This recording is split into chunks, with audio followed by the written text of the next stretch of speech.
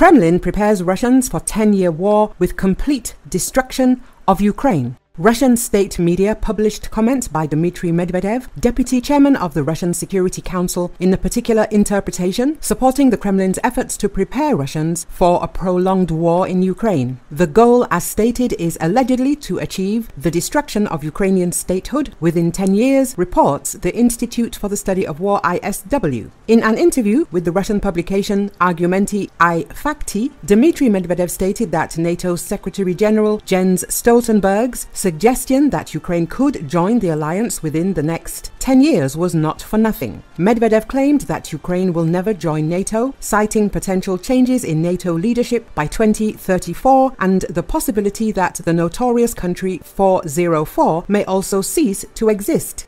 The Institute for the Study of War noted that Medvedev did not explicitly state that Ukraine would cease to exist by 2034, but Russian media, including the Kremlin's TASS news agency, quickly published articles with headlines such as Medvedev admitted that Ukraine will not exist in 2034 and Medvedev predicted the disappearance of Ukraine by 2034.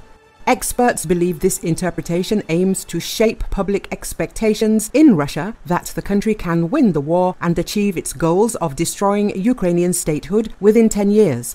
This Kremlin narrative directly undermines attempts by some Kremlin officials to suggest that Russia is willing to negotiate for peace with Ukraine.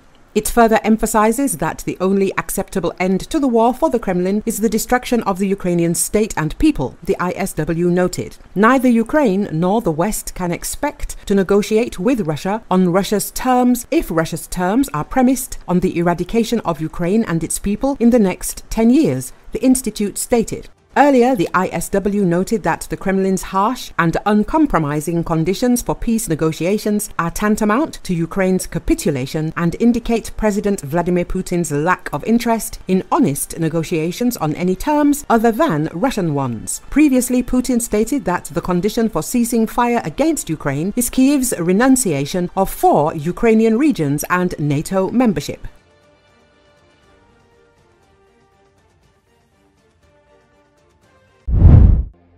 16 people were killed in a fire at a department store in Sichuan province in China's southwest, state media said. The fire broke out in a 14-story building in a high-tech zone of the city of Zigong, shrouding the vicinity with thick smoke, according to the Xinhua news agency. Social media video posts showed clouds of thick black smoke coming from the windows on the building's lower levels and engulfing the entire 14-story structure as they rose into the sky. Huge flames were visible, and firefighters fought the fire with water. Local media said firefighters also used several drones. About 30 people were rescued from the blaze after nearly 300 emergency workers and dozens of vehicles were dispatched from the local fire department to the scene, state broadcaster CCTV reported. In a statement, China's Ministry of Emergency Management urged rescue workers and provincial officials to determine the cause of the fire as soon as possible, and to learn lessons to ensure greater security in the future. Preliminary investigation showed the fire was due to construction operations. Further investigation was underway to identify the specific cause of the fire. Fire hazards remain a problem in China, which reported 947 fire fatalities in this year's first few months ending on May 20, up 19% from the same period of the previous year, said Li Wanfeng, a spokesperson for the National Fire and Rescue Administration. Li said the number of fires in public places such as hotels and restaurants rose 40% and that the most common causes were malfunctioning in electrical or gas lines and carelessness. In January, a fire killed 39 people in a commercial building in the southeastern Chinese province of Jiangxi. It was caused by unauthorized welding in the basement.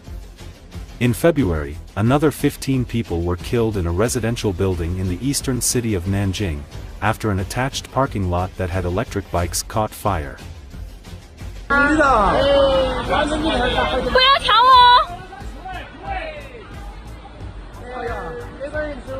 不得！我操！